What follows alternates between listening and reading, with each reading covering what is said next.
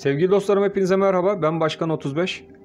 Öncelikle hepiniz kanalıma hoş geldiniz. Evet sevgili dostlarım Sterlin TL e, yorumu bekleyen arkadaşlar Sterlin TL'de e, bizler için hedef hangi bölge? Sizlerle birlikte bunu hem eğitim amaçlı hem de sizlere birkaç e, bilgi vermek doğrultusunda e, paylaşmak istedim. Evet e, videonun e, kapak resminde gördüğünüz gibi arkadaşlar e, Sterlin TL'de 10.30 e, hedefi kısada var arkadaşlar. Bu 10.30 hedefine Sterlin TL nasıl gidebilir? Sizlerle birlikte bunu hemen inceleyelim.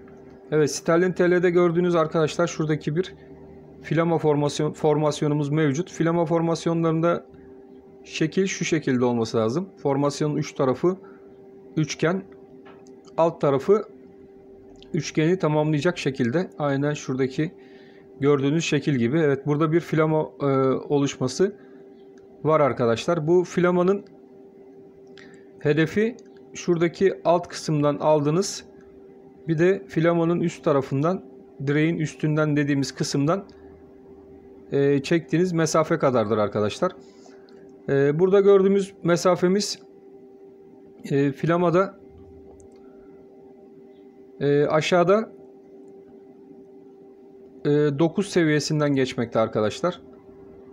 Evet, şurada gördüğünüz e, 9'lu seviyelerden. Yukarıda da 9.65 seviyesinden geçen filamanın e, üst tarafındaki e, direği. E, bunun da hedefi arkadaşlar e, sterlin TL kurunda 10.35 civarından geçmekte.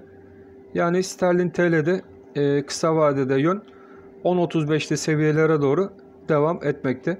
Formasyonun çalışabilmesi için şurada gördüğünüz üçgenin e, yukarı yönlü kırılması şart arkadaşlar. Bu üçgen içerisinde şu an hareket devam etmekte. E, bu üçgenimizin gene üst tarafı dediğim gibi arkadaşlar 10.65 civarından geçiyor. Şey pardon 9.65 civarından geçiyor. 9.65 üzerinde yukarı yönlü kırılım hareketi hızlandırır ve 10.35 seviyesine kadar e, hareketi bizlere götürecektir arkadaşlar. E, şimdi bizler için aşağıda sterlinde 9.48 seviyesi artık bir destek konumunda. Şurası bir destek konumumuz bizim. 9.48'in altında gene en yakın e, bir 9.30 e, destek bölgemiz mevcut.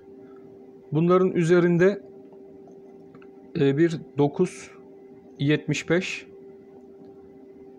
direncimiz mevcut. 9.75 direncinin e, aşılması halinde de arkadaşlar e, yukarıda verdiğimiz 10.35 hedefine doğru sterlin TL'de hareketler e, yön bulacaktır diye düşünmekteyiz. Brexit süreciyle e, biliyorsunuz e, koronavirüsünün de ekonomik yönden ülkeleri e, etkilemesi e, İngiltere ekonomisini de derinden yaraladı arkadaşlar. E, bu sene ekonomideki daralma beklenenden fazla %11 civarında olması hedefleniyor arkadaşlar İngiltere bölgesinde.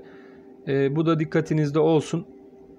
Fakat şimdilik bu filama formasyonunun hedefi sterlin TL'de 10.35 civarından geçmekte. İlk etapta e, bu formasyonun çalışabilmesi için de e, 9.65 e, civarından geçen arkadaşlar e, bayrak direğinin, filamanın bayrak direğinin yukarı yönlü kırılması şart. E, bu kırılmasıyla birlikte 9.65 seviyesinin yukarı yönlü kırılmasıyla birlikte de 9.75 ve 10.35 hedefine doğru sterlin TL'de hareketlerin yön bulacağı öngörülerimiz dahilindedir. Unutmayın burada verdiğimiz e, kararlar, öngörüler sadece bizi bağlar ve bunun dışında e, bu öngörülere dayalı yatırım yapmamanız sizler açısından daha faydalı olacaktır arkadaşlar. Evet sterlin TL ile ilgili fazla uzatmayalım. Söylemek istediklerim bunlardan ibaret. Hepinizi çok seviyorum. Hepiniz Allah'a emanet olun. Hoşçakalın arkadaşlar.